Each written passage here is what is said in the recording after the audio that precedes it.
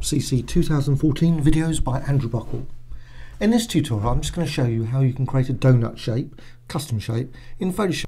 Just quickly create, hold the shift key down to make a circle and you've got a basic circle. Now what you want to do next is go to a layer, duplicate layer, click OK. So now you've got two, just go, now to make a donut, just going to obviously have a reasonable sized donut,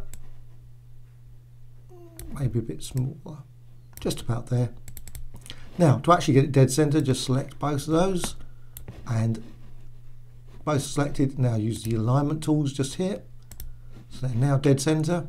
Just go to a layer, combine shapes, subtract front shape. So, right, that's the basic shape. Just going to go down to ellipse again and now just go to there, just select that again, merge shape components. Edit and define custom shape. Click OK. Now, obviously once you've done that, you can just go to the custom shape tool and I'm just going to select that custom shape and you can fill it with any colour. So obviously it's uh, nice to have it as a brown shape. So uh, you can also, with this, you can actually go with fill and a gradient. So you can actually select a gradient.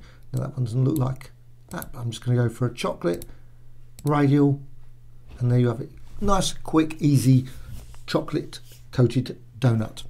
Hope you found this of interest. Thank you much.